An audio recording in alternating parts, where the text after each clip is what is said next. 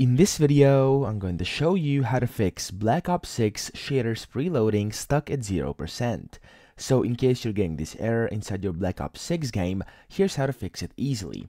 The first thing you have to do is close down the game and your client completely. So close the game and then the client. If you're using Steam, close down Steam. If you're playing on anything else, just simply close that down. You can even try to restart your computer and then once you've done that, you have to open up the game again and see if the issue got fixed.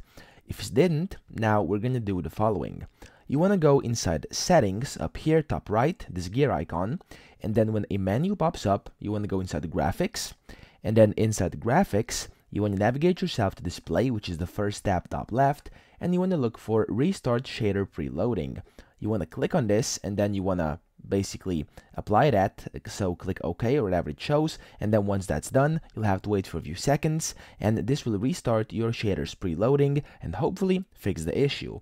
If the issue still didn't fix it you have to go and delete the shader cache inside the game.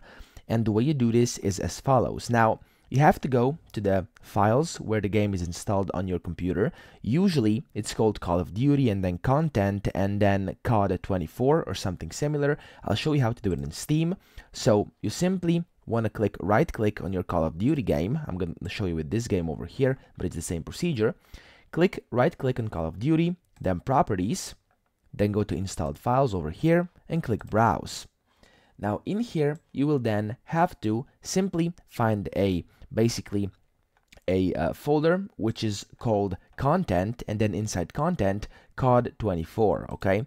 If this doesn't happen if you don't find that file a uh, folder you'll have to find a similar one in which there is basically a folder which is called shader cache or preloaded shader cache or something along those lines.